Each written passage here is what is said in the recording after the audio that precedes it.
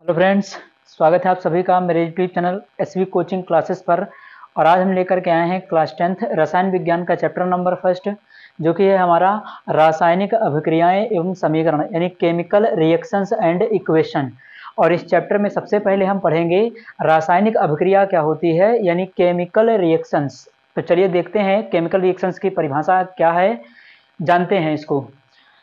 जब दो या दो से अधिक पदार्थ आपस में क्रिया करके एक नए पदार्थ का निर्माण करते हैं, जिसके गुण मूल पदार्थों से भिन्न होते हैं, रासायनिक अभिक्रिया कहलाती है। यानी कि जब दो या दो से अधिक पदार्थ आपस में मिल करके एक नए पदार्थ का निर्माण करते हैं तो उसे हम रासायनिक अभिक्रिया कहते हैं। चलिए आगे देखते हैं क्या बताया गया है। रासायनिक अभिक्रिया में भाग लेने वाले पदार्थों को अभिकारक कहते हैं, जिन्हें अभिक्रिया में तीर के बाईं ओर लिखा जाता है, तथा बनने वाले पदार्थों को उत्पाद कहते हैं, जिन्हें तीर के दाईं ओर लिखा जाता है। यानी रासायनिक अभिक्रिया में भाग लेने वाले पदार्थों को हम अभिकारक कहते हैं और जिन्हें अभिक्रिया में बाईं साइड में लिखा जाएगा, आयरो के बाईं साइड में लिखा जाएगा। और बनने वाले पदार्थों को हम उत्पाद कहते हैं, जिन्हें हम अभिक्रिया में दाईं साइड में लिखते हैं। तो चलिए देखते हैं, हमने एग्ज़ाम्पल भी लिखा हुआ है। जब मैग्नीशियम को ऑक्सीजन के प्रेजेंस में या वायु में जलाया जाता है तो मैग्नीशियम ऑक्सीजन से क्रिया करके मैग्नीशियम ऑक्साइड बनाता है। इसमें हमारा मैग्नीशियम और ऑक्सीजन जो कि हमारा एरो के बाई साइड में लिखा हुआ है, इनको हम कहेंगे अभिकारक। और बनने वाला हमारा पदार्थ जो मैग्नीशियम ऑक्साइड है, इसको हम कहेंगे उत्पाद। यानी मैग्नीशियम और ऑक्सीजन हमारा क्या हो गया? अभिकारक हो गया और मैग्नीशियम ऑक्साइड क्या हो गया? उत्पाद हो गया। हमारे आयरो के इस साइड में जो भी लिखा हुआ होगा, वो सबके सब अभिकारक होंगे और बनने वाले जितने भी पदार्थ होंगे, उनको हम कहेंगे उत्पाद। तो ये हो गई हमारी रासायनिक अभिक्रिया की डिफिनेशन और उसमें जो बातें बताई गई थी कि अभिकारक क्या होता है, उत्पाद क्या होता है, मैंने आपको बता दिया है। अब हम आगे चलते हैं और कुछ रासायनिक अभिक्रियाओं के उदाहरण देखते हैं। तब तक आप इसका स्क्रीन ले लीजिए, फिर हम आगे चलते हैं। जैसा कि हमारी एन किताब में कुछ दैनिक एग्ज़ाम्पल भी दिया है रासायनिक अभिक्रियाओं के। जैसे हम लिख लेते हैं एग्ज़ाम्पल के लिए दूध से दही का बनना। दूध से दही का बनना। दूसरा दिया है हमारा, लोहे पर लोहे पर जंग लगना।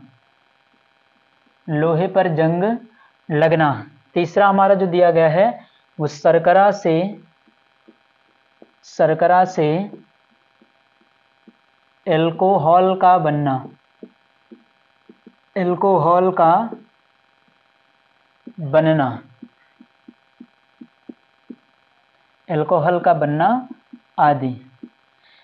कुछ हमारे दैनिक एग्ज़ाम्पल जो दिए गए हैं, जैसे कि हमारा दूध से दही का बनना, जो कि हमारा एक रासायनिक अभिक्रिया होती है।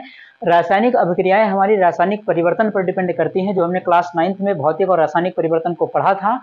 उसी पर डिपेंड करती है हमारी रासायनिक अभिक्रियाएँ रासायनिक परिवर्तन पर। लोहे पर जंग लगना दूसरा एग्ज़ाम्पल हो गया। तीसरा एग्ज़ाम्पल है सरकरा से एल्कोहल का बनना। तो यहाँ पर देखते हैं कि जो दूध से दही का बनना है और सरकरा से एल्कोहल का बनना है, इन दोनों की जो प्रोसेस होती है उसे हम कहते हैं किड़वन। सूक्ष्म जीवों की उपस्थिति में दूध से दही बन जाता है और सरकरा से एल्कोहल का निर्माण हो जाता है। लोहे पर जंग लगना, इसमें आयरन जो लोहा होता है, जो आयरन होता है, वो वायुमंडलीय ऑक्सीजन और जलवाष्प के साथ क्रिया करके आयरन ऑक्साइड बना लेता है, जो लोहे में जंग के रूप में जमा हो जाता है।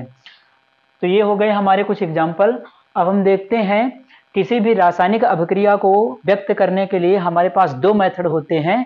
दो समीकरणें होती हैं, एक होती है शब्द समीकरण और दूसरी होती है रासायनिक समीकरण। तो चलिए देखते हैं पहला हम, शब्द समीकरण। शब्द समीकरण। शब्द समीकरण वर्ड इक्वेशन वर्ड इक्वेशन कहेंगे इसको इंग्लिश में। शब्द समीकरण।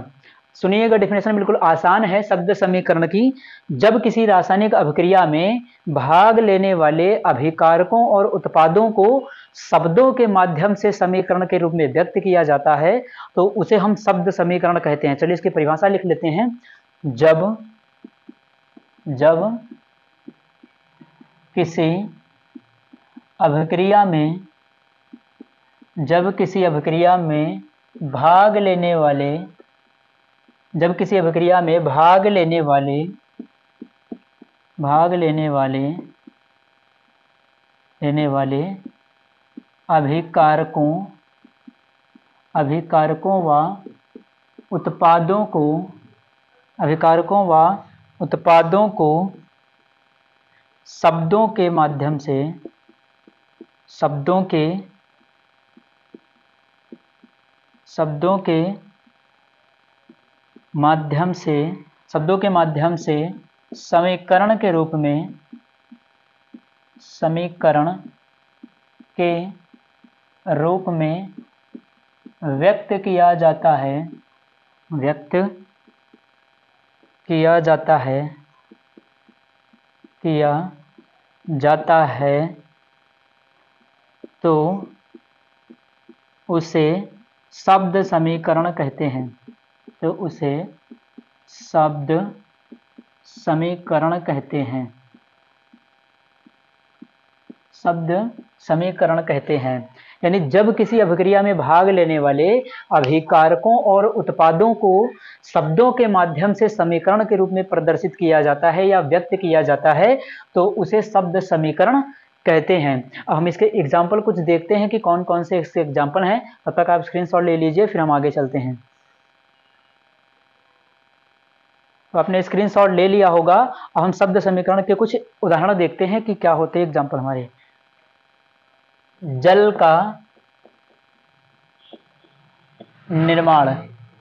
जल का निर्माण। हमने एक शब्द समीकरण में पहला एग्जांपल लिया है, जल का निर्माण। तो जैसा कि आप जानते हैं कि जल का जो फार्मूला होता है, वो हमारा एच टू ओ होता है। यानी वाटर का फार्मूला H2O होता है। तो इसमें कौन कौन है? हाइड्रोजन है और ऑक्सीजन है। तो देखिएगा, हम इसको लिखेंगे। Hydrogen hydrogen plus oxygen. Hydrogen plus oxygen, और यहाँ लिख देंगे जल, वाटर। या इसको हम डाई हाइड्रोजन मोनोऑक्साइड भी लिख सकते हैं। वाटर को हम डाई हाइड्रोजन मोनोऑक्साइड भी लिख सकते हैं। तो इस प्रकार से जब हम किसी भी समीकरण को हिंदी शब्दों के माध्यम से लिख करके प्रदर्शित करते हैं तो उसे हम शब्द समीकरण कहते हैं। एक दूसरा एग्ज़ाम्पल भी देख लेते हैं हम। जैसे हमने लिख दिया कार्बन डाइऑक्साइड का निर्माण। कार्बन डाइऑक्साइड का कार्बन डाई ऑक्साइड का कार्बन डाइऑक्साइड का निर्माण। कार्बन डाइऑक्साइड का निर्माण। दूसरा एग्ज़ाम्पल हमने लिखा है कार्बन डाइऑक्साइड का निर्माण। जैसा कि आप जानते हैं, कार्बन डाइऑक्साइड का जो फॉर्मूला होता है, वो क्या होता है? CO2 होता है। कार्बन डाइऑक्साइड का फॉर्मूला CO2 इसमें कौन कौन कार्बन है और ऑक्सीजन है। तो हम लिखेंगे carbon plus oxygen. Carbon plus oxygen और इधर लिख देंगे carbon dioxide. Carbon dioxide carbon dioxide. तो यहाँ हमारा कार्बन और ऑक्सीजन जो हमने इधर लिख दिया है और उससे बन गया हमारा कार्बन डाइऑक्साइड। तो इस अभिक्रिया में कार्बन और ऑक्सीजन हमारे हो गए क्या? अभिकारक। इस अभिक्रिया में कार्बन, ऑक्सीजन क्या हो गए? अभिकारक। और बनने वाले पदार्थ क्या होंगे? उत्पाद होंगे। ठीक उसी प्रकार से इस अभिक्रिया में हाइड्रोजन और ऑक्सीजन क्या है? अभिकारक है। और जल क्या है? उत्पाद है। तो इन दोनों को हम लिख लेंगे अभिकारक। अभिकारक। और बनने वाले पदार्थ को हम कहेंगे उत्पाद। यानी जो पदार्थ हमारे आयरो के बाई साइड में लिखे होंगे, उनको हम कहेंगे अभिकारक। और जो आयरो के दाई साइड में लिखा होगा, उसको हम कहेंगे उत्पाद। तब तक कि आप इसका स्क्रीनशॉट ले लीजिए, फिर हम आगे बात करते हैं।